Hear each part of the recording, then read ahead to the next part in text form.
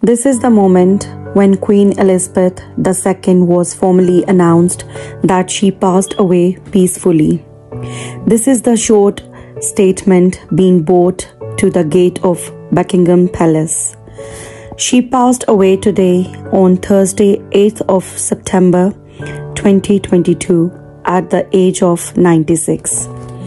This short statement state here as well that the Queen is died peacefully at Balmoral in Scotland. People and crowds are gathering here at Buckingham Palace in London as they heard this sad news.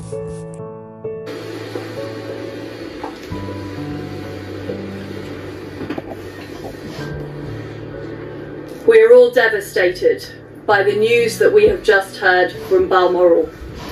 The death of Her Majesty the Queen is a huge shock to the nation and to the world. Queen Elizabeth II was the rock on which modern Britain was built. Our country has grown and flourished under her reign.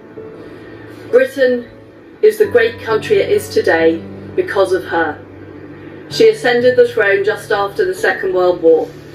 She championed the development of the Commonwealth from a small group of seven countries to a family of 56 nations, spanning every continent of the world. We are now a modern, thriving, dynamic nation. Through thick and thin, Queen Elizabeth II provided us with the stability and the strength that we needed. She was the very spirit of Great Britain, and that spirit will endure. This is the live views from Buckingham Palace which is a special place to the Queen, which is also her home. She loved it here, she stayed here, and the place where she died is also very loving to her.